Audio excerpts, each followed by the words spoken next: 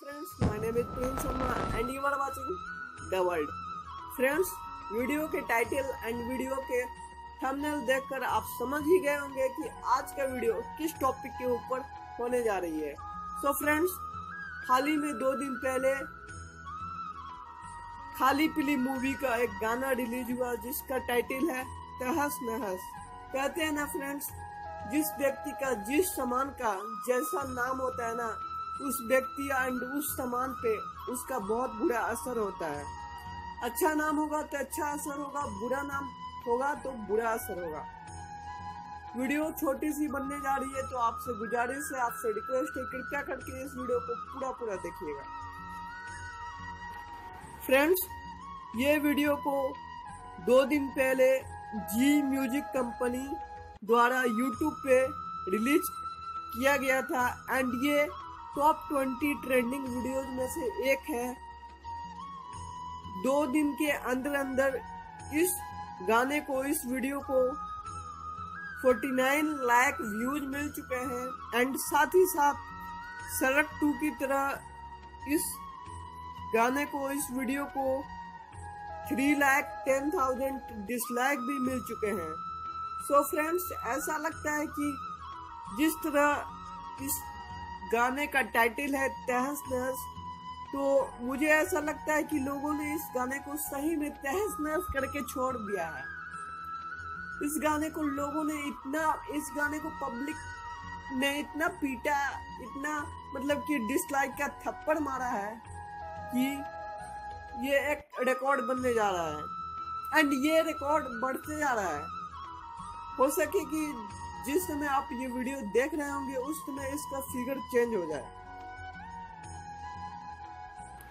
वैसे तो इस गाने को ईशान और अनन्या द्वारा एक गैरेज में शूट किया हुआ है। बट फ्रेंड्स ऐसा लगता है कि अब इंडियन सिटीजन में इंडियन पब्लिक में एक जागरूकता आ चुकी है। लोग अपना पावर अब यू नो पावर इस्तेमाल कर, करने लगे हैं।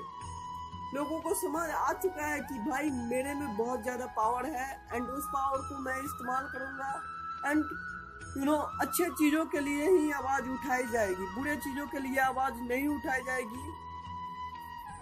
तो so फ्रेंड जैसे कि आप जानते हैं कि आज का माहौल बहुत ही गहमा गहमी का माहौल है इंडिया में, क्योंकि सुशांत भाई के लिए भी सीबीआई का मांग हुआ था एंड वो एक्सेप्ट भी किया गया सेंट्रल गवर्नमेंट द्वारा।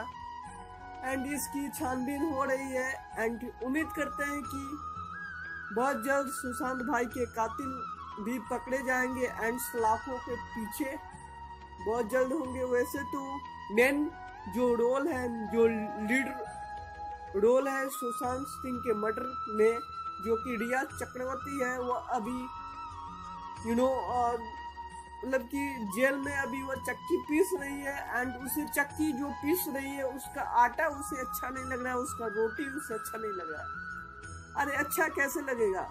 जो लड़की कंटिनेंटल फ़ूड को खाती थी कंटिनेंटल डिशेस खाती थी, उसे दाल रोटी कैसे अच्छे लगेंगे उसे नून रोटी कैसे अच्छा लगेगा? नहीं लगेगा ना जी। लेकिन जैसी करनी, वैसी भरनी, ये तो होता ही है। एंड ये जन्मों जन्मों से आ रहा है।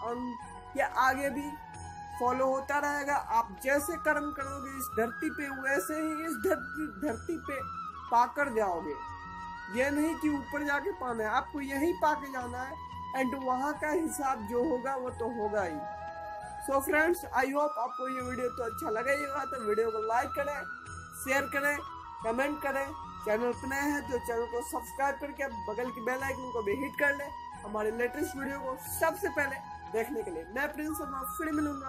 एक नई वीडियो के साथ, तब तक के लिए धन्यवाद।